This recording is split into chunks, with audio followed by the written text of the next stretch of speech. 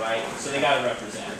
So we got them both some coffee and some mugs from the Umbria, which is the place we went today. That coffee maker is uh, local, grandfather to father to son. Um, and then we got, you're in the Pacific Northwest, so you must have smoked salmon. Yeah. Real, real salmon, Pacific salmon, right? And so the, the coffee and the, the mugs will make it tomorrow night.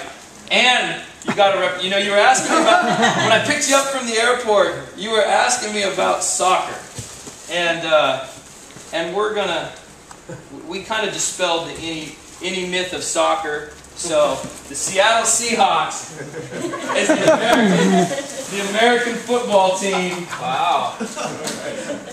You go back with a little Tatupu action.